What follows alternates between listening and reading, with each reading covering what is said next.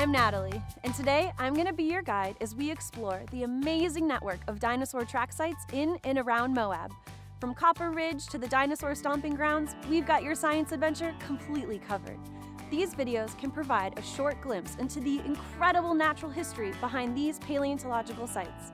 That being said, welcome to the Poison Spider Dinosaur Track Site. What is now modern Moab was once covered in huge sand dunes. Between these dune fields were scattered flat areas of wet sand, shallow ponds, small streams, and dinosaurs roaming through all of it. As dinosaurs crossed these flats, they would often leave their footprints behind.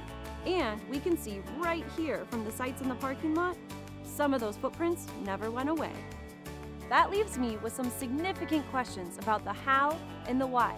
Well, luckily, we're here with paleontologist Dr. Randy Irmis from the Natural History Museum of Utah and BLM paleontologist Rebecca Hunt Foster, who can help answer some of these tricky questions. Let's go find them. Hey Randy, thanks for meeting me out here. Of course. So as I was coming up to the site, I noticed all of these beautiful rocks, and I would love to know how old are all these rocks we're looking at? 200 to 180 million years old. Wow, cool. How can you tell what the environment looked like where the trackway was made? Well, at the track site, we see both sandstone and limestone. And the sandstone has these funny lines in them called crossbeds that tell us it was a desert.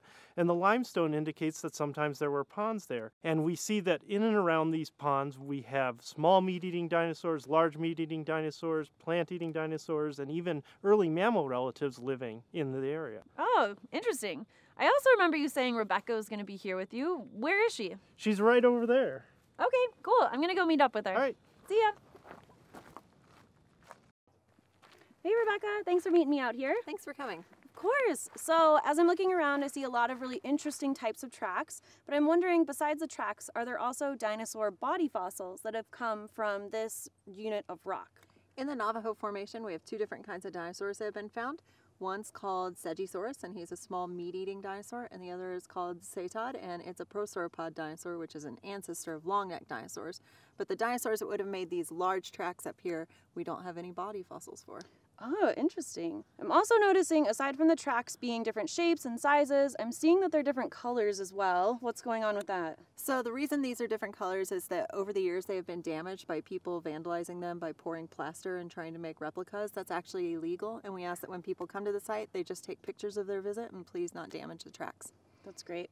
All right, well, I'm gonna go up and check out those other ones, so I'll see you later. Great, have a fun time. Thanks. The Poison Spider Dinosaur Track Site is a critical record of our natural past that must be respected and protected.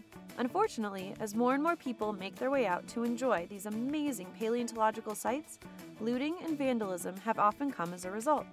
We can all agree that this type of activity is not only unacceptable, but also illegal. And sometimes, people like you and me may be unintentionally participating in activities like this, but have no idea that we're doing it. So, how can we know? And how might we minimize that impact during our visit to these wonderful public spaces? 1. When we're out discovering, let's leave fossils in place. Even making replicas with plaster or silicon can damage these irreplaceable treasures. 2. We should always use existing trails. And 3. If we find a fossil exposed or in danger, let's leave it in place and contact the appropriate authorities at the BLM field office here in Moab. We can document them with photos and GPS coordinates, but we should never remove them or touch them. Remember, these are your lands. Let's respect them and protect them. Thanks for joining us.